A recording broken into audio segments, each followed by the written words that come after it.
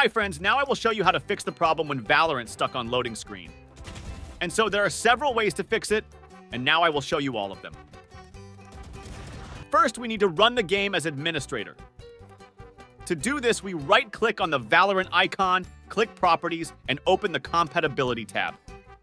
We check the boxes next to disable full screen optimizations and check run this program as an administrator. Then click apply and OK. After each item, try to run Valorant and check if the changes worked. If they did not work, proceed to the next method. Next, we will try to update our graphics drivers, because outdated or incorrectly installed drivers can cause problems. I'll show you the example of drivers for NVIDIA graphics cards. Search for NVIDIA go to Drivers and click on the Update button here if there is one. If you have the latest version of the driver, try to reinstall it by clicking on the Reinstall button.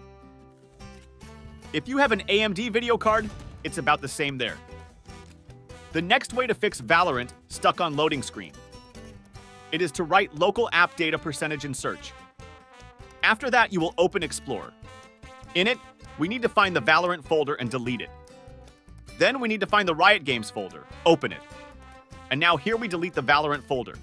After that, we need to open the folder where Valorant is installed. You can do this in several ways. I'll show you one. To do this, type Valorant in the search, right-click on it, select Open File Location. And once again, click on the Valorant icon, select Properties in the menu, and click on Open File Location. Now from this folder, we need to exit. Just click here.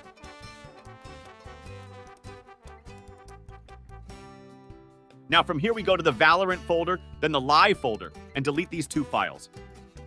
So if you still have a problem with the screen freezing in Valorant, the next thing we can do is to change our DNS servers. To do that, we open the Start menu, and we write Run.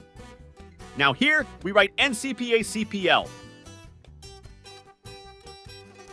And then we select the internet connection that we're using. Right-click on it and go to Properties. In this window, we want to select this item and go to Properties and we want to change the DNS server address from automatic. We select this item and enter the following values. After that, we click OK. If you still have a problem, I have one last way. To do this, type CMD in the search, run it as administrator, type the command sc delete vgk and press enter, and sc delete vgc and press enter again. After that, close the command line. After that, we need to restart the computer. After restarting the computer, go to the Program Files folder and delete the folder with Riot Vanguard. Now open the Riot client and run the game update. It will reinstall some files. And after that, restart your computer again. Hope this helped you. If you still have questions, ask them in the comments. Don't forget to like and subscribe to the channel.